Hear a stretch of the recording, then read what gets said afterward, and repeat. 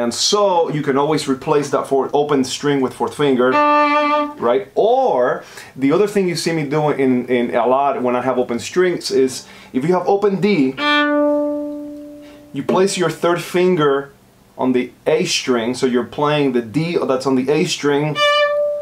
If you vibrato the D that's on that A string, okay, it will cause that D string to vibrate. Here, listen to the difference. Now vibratoing on third finger D on the A string while playing open D.